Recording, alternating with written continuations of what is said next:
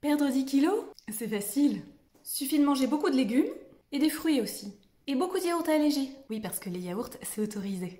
D'arrêter de manger tout ce qui est gras et sucré, donc tout ce que t'aimes. De ne pas manger quand t'as faim. Et de courir une heure par jour. Facile.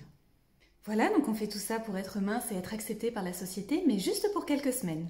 Parce qu'on reprend ensuite tous nos kilos perdus, si ce n'est plus, deux mois après. Mais sinon, c'est facile.